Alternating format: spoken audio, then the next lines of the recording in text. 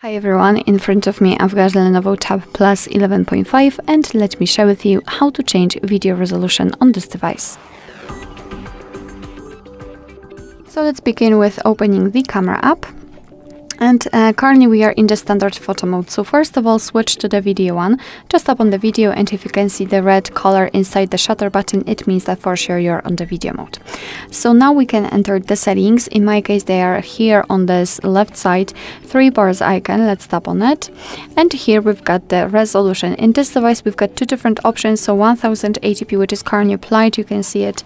You can see it by marking it with this yellowish, um, orangish color around around it and 720p. All we have to do is to tap on a specific option we want to use. It will be immediately applied, which means that from now on your device will use the chosen resolution whilst recording um, a video.